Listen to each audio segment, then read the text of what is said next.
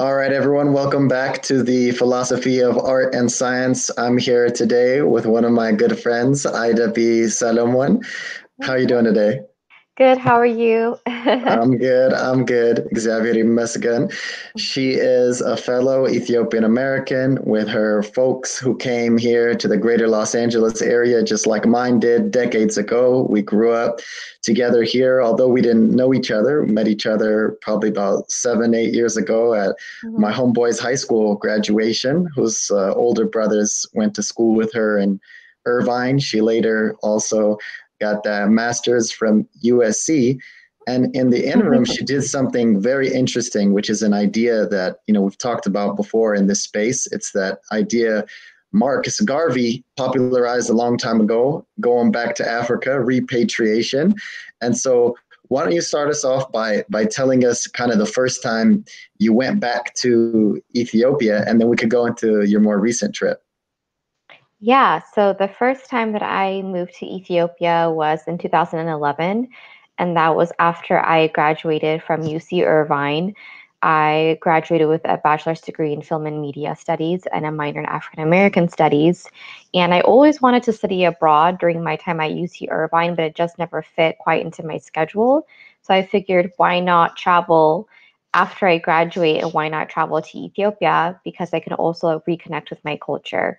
So I moved in the fall of 2011 and I ended up staying for about eight months.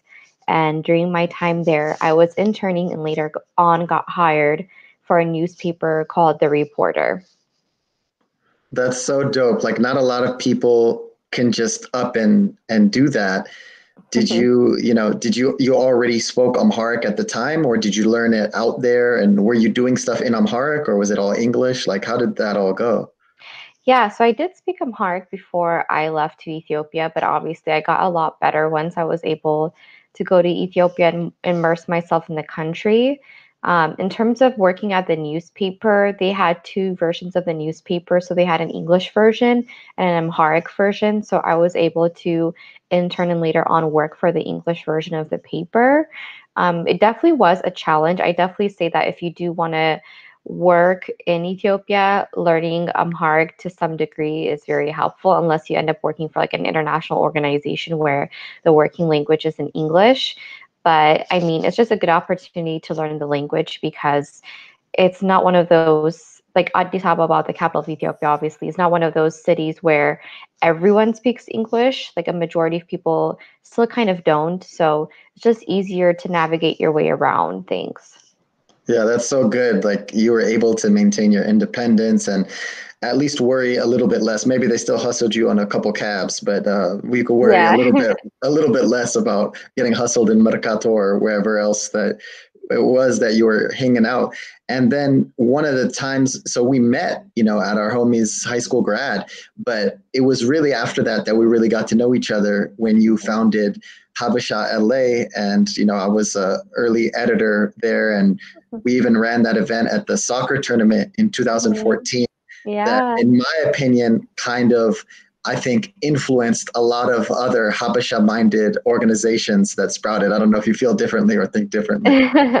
yeah, I can definitely see that connection because I think that um, coming back for me in 2012, I was really inspired by the different creatives that I was able to network with and meet and interview during my time as a journalist. So I just really wanted to create a hub or a space for creatives in our community in the diaspora and bring us together through different various types of events. So for me, doing the Habesha LA happy hour mixer at the tournament in San Jose It was kind of my first step in that space. And I don't think anything like that had been really done before. So it's really interesting now to see that there's so many different types of similar organizations or meetups and events. And that's great because I think that's what's really needed, especially for our community here in Los Angeles because we're so spread out and it really can be hard to meet a community of like young-minded folks from you know from different sectors so i'm really happy to see that that's continued to grow in in different ways A hundred percent like it's not just you know one that's gonna necessarily pop off and, and take over that that market or that space it's like mm-hmm. everybody's building on each other. Everybody's ideas are are melding. Mm-hmm. So then one of the I think funnier moments was I think it was about three years ago. Actually, actually might be four years ago now. Now that I think okay. about it, um, uh, was it? No, no, it was 2017, right? Was it May 2017 when you went back? When I, yes, when I went back to Ethiopia so, for the second time. Mm-hmm. So that was three years ago. So about yes. three years ago, three years ago in a month, Aida and I are talking. We go and we have some lunch, and she's like, "You know what? You know, um, I'm thinking about going to Ethiopia for a few months." And I laughed when she said that because I know last time she went, how much fun she had, how she was repping for her culture, you know, everywhere she went, and I was always proud of that. And I thought in my head, at least six months to a year. And I think at that time, our friend Rediet had started the Ethiopian Diaspora Fellowship as well, too. So mm-hmm. I knew that she had, like, Aida has some connections and stuff, and she's going to like it. And obviously, her skill set is going to be not like one in a million, but but pretty pretty mm-hmm. rare in terms of being very well balanced in being Ethiopian and being an American, which I think you know ups ups your stock. Being highly educated too, and having the experiences of founding organizations, I was like, I don't think you're going to spend a little more than three months. you ended up spending three years there, visiting yeah. us, you know, every summer or every so often, and we would link up about once a year to to check in. But tell us tell us what made your original three month journey end up become a three year journey and all the cool stuff you did out there yeah, so I think what's really interesting is when you talk to a lot of diaspora that have moved back to Ethiopia, this is a common thread. Like you meet so many folks that say, I was planning on moving for three months and that turned into two years, or five months and that turned into five years. So I think that uh, life in Ethiopia just has this way of sucking you in. I think it's just such a warm and inviting place to live. And I think that has a lot to do with our culture. Obviously, it's more of a collectivist culture back home in Ethiopia than versus here. And I think that um, family life and, um, you know, spirituality and other traditions and customs are really still valued in the society. And it's just kind of nice to live in a place where it's kind of more slow paced. But I think that's also part of the reason why people end up spending more time in Ethiopia than originally expected, right? Because it can take longer to get certain things done. So I think for me, when I when I originally went to Ethiopia, I was part of a friend's wedding, and I thought this would be a great segue for me to stay past the wedding and explore different opportunities. And there's been a lot of young diaspora from all over the world, from Canada, from the US, Europe, Australia, moving back to Ethiopia and doing really cool things and creating new initiatives. So I've just been hearing more and more stories about them. And I'm like, why not just see what I could do? I was kind of at a transitional point in my life, like with my career. Um, I wasn't working full time at the time. I was temping. I was just kind of trying to find my footing, like what my next step might be. So I think it was good timing for me on a personal level. And I was able to work for different organizations while I was living in Ethiopia. So I worked for the Ethiopian Tourism Organization for three months, and I was able to learn a lot about t- the tourism sector in the country. I also worked for a couple of event management companies in Addis Ababa as well, and you know the MICE industry, which is like meetings, incentives, um, conferences, and exhibitions. Like they're really growing in Ethiopia. So it's basically this industry of you know conferences taking place, meetings taking place, um, in the country because it's kind of um, like a political point in the rest of the continent as well. So I got to learn about you know managing conferences and managing events, and um, that was a good experience as well. But something that I a venture that I started on my own was called Art in Addis. And I co-founded it with a friend of mine. It was originally her idea. Her name was Addis Tesfaye. She is from the U.S. as well. She's from Minnesota. She came to Ethiopia through the through EDF, which is the Ethiopia Diaspora Fellowship founded by uh, Rediet Takesta. So she had already been living in Ethiopia when I when I moved. And Art in Addis is basically uh, a wine and paint event uh, that we used to host and put together, and we used to hire um, you know, local artists in Addis Ababa to perform the events. And we used to have, you know, uh, music and wine and food, but we also wanted to expand it to be more of a social enterprise. So now our goal is to really kind of create more community-based initiatives through Art in Addis, whether it's helping beautifying the city or doing different programs for children. Um, I just think that art is a very underutilized resource in Ethiopia, which you know is understandable. Um, it can be hard to get access to some of the supplies, such as acrylic paint or oil paint, but everything else is locally sourced, which is something we're really proud of. Um, our canvases, our easels are locally made. And like I said, we hire uh, local artists that are young and talented and vibrant to teach our classes. And we also do private events as well. So if folks are wanting to do like a children's birthday party or a private event of any kind in their own backyard, we're able to arrange that for them as well. And um, it's been a good learning process just having to manage something of my own in Ethiopia and just kind of understanding how the logistics of that um, takes place in such a different environment has been a huge eye opener for me. Yeah, it's so it's so beautiful. God, I want to like touch on all those things that you said. So like, sorry, the, is it possible no. to quickly pause because I have to get my charger? Oh yeah, yeah, yeah. Hold on one second. Okay. So you were working with the tourism, and the interesting thing about that is like, you probably already have this like cursory surface level knowledge you know about ethiopia. But when you work for mm-hmm. an institution i'm sure you were flooded with all this information that you could kind of put people on more about their own country and increase that that sense of self-worth and, and pride. And the event spaces i've been seeing them take off. I know i don't know if it's mala or male i think is one of the big ones where i saw jack dorsey the founder from square and from twitter and from cash app like out there. And he even before COVID happened, he was talking about moving to Ethiopia. Like he was he's saying he wanted to live in in Africa in 2020 and that he was strongly considering Ethiopia after his visit there, meeting like the various data scientists and and all the people that that would have been in that event space. But the interesting thing is the your own project with your friend Gundist, the the art in Addis, it sticks out to me because it's this piece of high culture. And my cousin a long time ago, she would tell me like she was always interested in people like Izzy, you know, doing Magabi skate because yeah. the image everybody has is of famine and of, you know, uh, like the 90s like just like everybody starving and you know starving marvin from from south park and all these things that you know you and i would have grown up with you know people asking ignorant questions about does the airplane land on the hut and things like this. And you know your basically life and projects are showing like no we got this high level high culture. Where we're meeting up together you know like it's a little bit of a turn up but it's very intellectual as well. Mm-hmm. and we're supporting like the local entrepreneurs, the small scale stuff.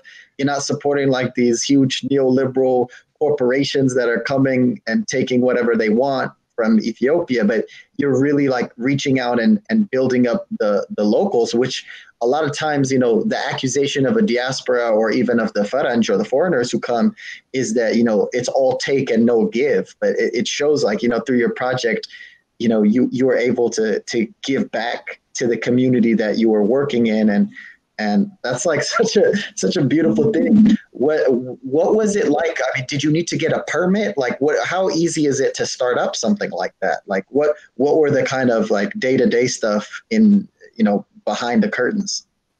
Yeah so i think one thing i want to clarify about art in addis um, one of our goals was to really make art accessible to all communities so that's really one of our mantras as an organization because we didn't want our classes to be limited to a certain pool of folks.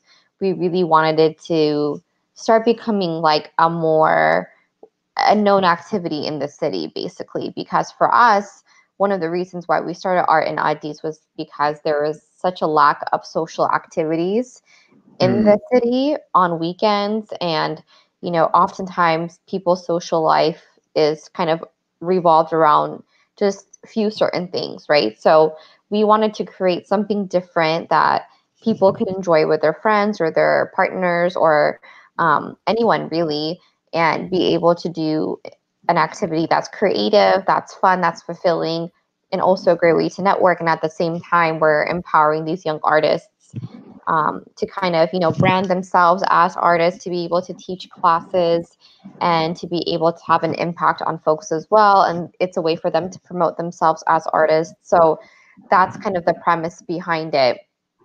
Um, and in terms of like starting a business in ethiopia i think it really depends on the type of business that you want to start um, you have to research the type of business license that you would need. And depending on the type of business license that you need for your specific type of business, there's going to be different requirements. So, some business licenses might require that you have an office space rented out mm. before you even apply for a license, and you're going to have to show proof of rent.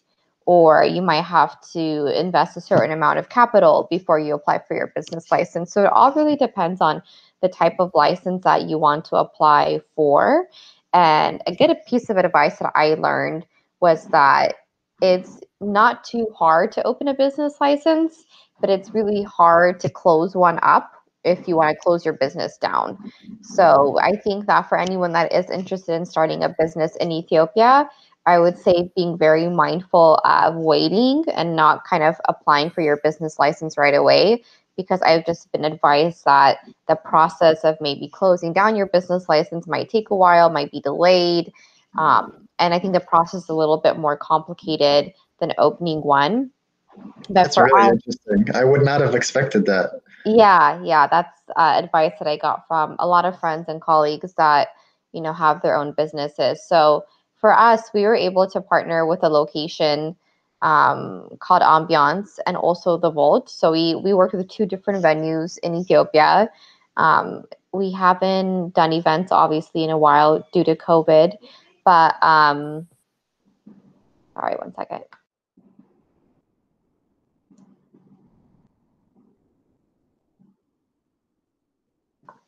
Sorry about that. Um, You're good.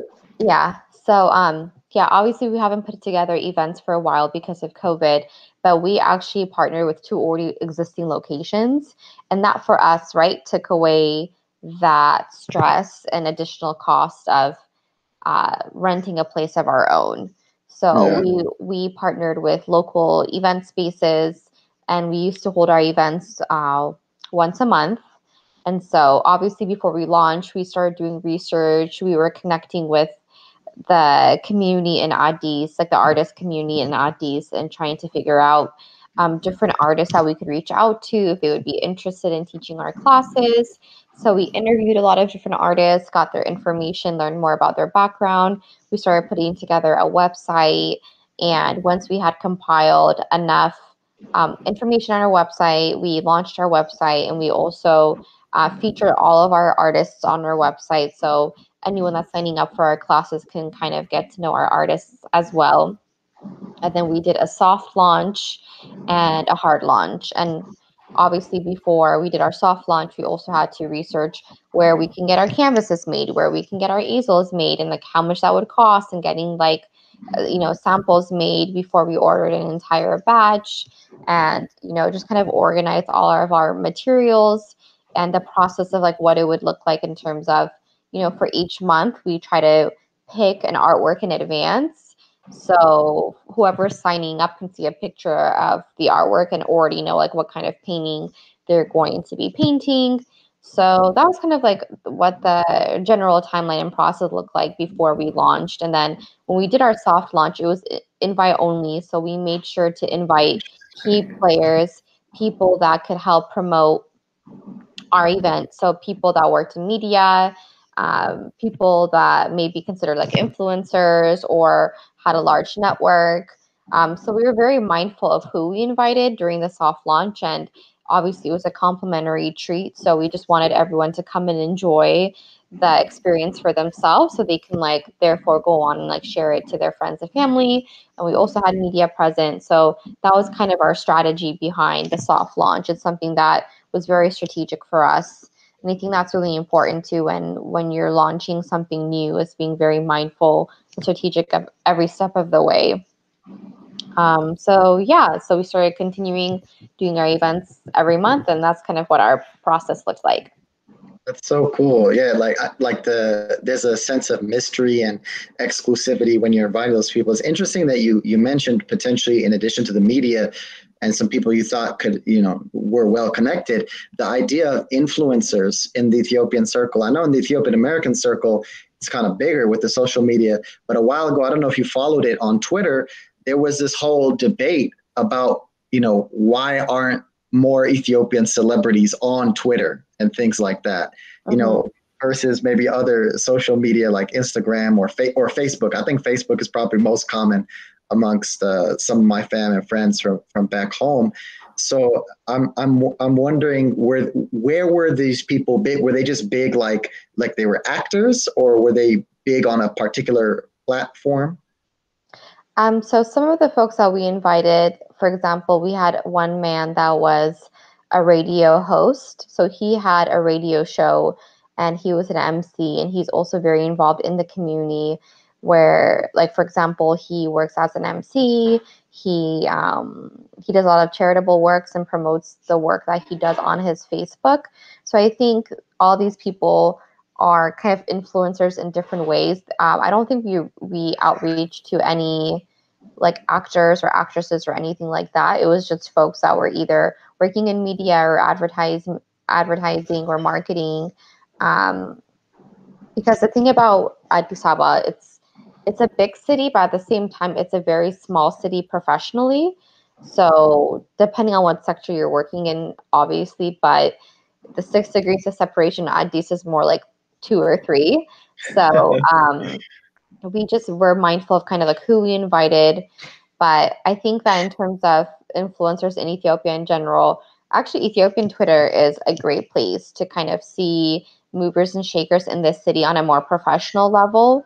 Um, and I think like Instagram and Facebook is more reserved for like the more traditional idea of what celebrity, which is maybe like models or actresses or singer songwriters. But I think in terms of um, following influencers in um, different industry sectors, whether it's economics, business, um, public health, I definitely would recommend being active on Twitter.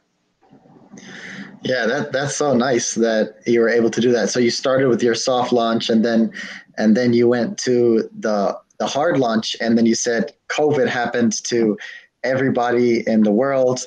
I know you're back stateside right now. I, I, is it too soon to to make a determination? I don't know if you're kind of still thinking through it, but is the thought to like go Ethiopia all the way, or are you thinking about the states again? Well, I am definitely planning on being here for now. Um, my partner for Art in Addis, she's still based in Addis Ababa. So we're hoping that once things calm down, we can relaunch our monthly events. But like I said, we, we are still available for private events. So we have been getting requests for people um, for us to come to their house and facilitate private events for their families. And um, she's planning on being there long term. So, in terms for me, um, I am going to be based here for a while. I am planning on relaunching my marketing strategic consulting firm with my partner Rediet.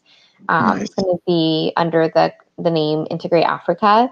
So that's something that I'm going to be really focused on while I'm out here. And it's just basically bridging a gap between, you know, Black and African entrepreneurs and um, us. So we offer, you know, different strategic communication consulting, marketing consulting. So that's something that we've both been working on for a while and we are ready to relaunch. So I think that's where my main focus is right now. But I mean, art in Addis is still something near and dear to my heart. And I'm sure that once um, things kind of go back to normal and settle down, we can continue to do different events in the city and hopefully more private events. And we're also planning on doing like children's workshops. So during doing different workshops like geared for children that are on break for you know for summer or which is actually Kramt, which is winter in Ethiopia.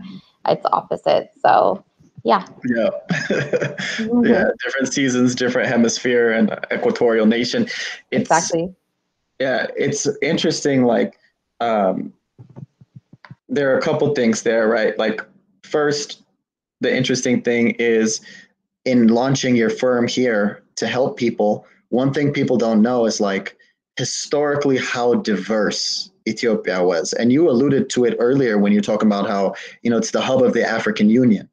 But like my fam, part of them grew up in Dire Dawa and in Harar, as well as Addis Ababa.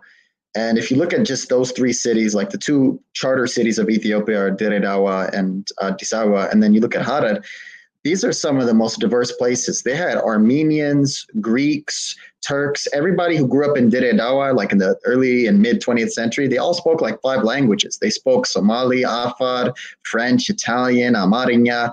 And it was really having these these two regime changes in the in the 70s with the, the Marxist regime and then in the early 90s with the, the current regime that's in power, right? The federal democracy, that I think a lot of people got scared and I think now people are seeing a little bit more stability in Ethiopia.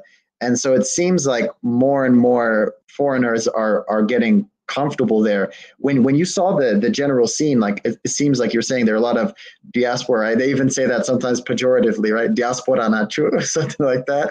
But you, you see the people from all over, right? Like a lot of these English speaking parts of, of the world. Are are there what, what's it like? Are there are there foreigners, like genuine foreigners who are like not Ethiopian at all, like running around the city or involved in in any of these these circles that you're seeing of the two degrees of separation? Yeah, I mean, there's definitely a huge expat community in Ethiopia. I think something else that's important to remember is that Ethiopia has one of the highest number of diplomatic missions in the world. So in terms of like the number of embassies that are located in Addis Ababa, it's extremely high. So I think that in itself allows there to be uh, a large foreign foreigner community or expat community. There's also, you know, a lot of international NGOs that have offices in Ethiopia. Like you said, the African Union is um, headquartered in Ethiopia. We also have different UN offices based in Ethiopia as well. So I think we definitely have a lot of international organizations and offices based in Addis Ababa that, you know, has a lot of foreign employees. So I think that that could be something that's surprising for folks uh, when they first move to Ethiopia. Because I think for us as Ethiopian diaspora as well, we just kind of look like we look at Ethiopia as this kind of like we know Ethiopia because we're Ethiopians, but I think we forget how many other non-Ethiopians know about Ethiopia and have lived there and do live there currently or traveled back and forth there for work or for business. So I think that's an interesting, um, interesting observation when you first move to Ethiopia, when you do see the number of um, expats and foreigners that that that live there. Yeah, and then you know, I, I was talking to an industrial organizational psychology person the other day. Actually, our, our mutual friend Danny does that work in Ethiopia.